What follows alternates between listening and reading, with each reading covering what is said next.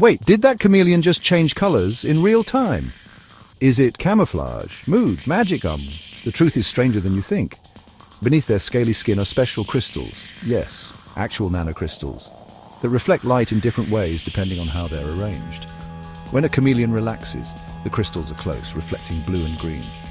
But when it's excited or stressed, the crystals stretch out, flashing reds, oranges, even purples. Fascinated by animal superpowers, subscribe to Wildwise and unlock the secrets of nature's weirdest wonders. They don't just blend in, they broadcast emotion, status, even territorial warning. This isn't hiding, it's high-def communication. It's not about ink or pigment, it's light-bending tech built by evolution over 100 million years. Now, so next time you see one change, remember that. It's not magic. It's science that looks like magic. Like, share and follow Wildwise because nature's got tricks no sci-fi can match.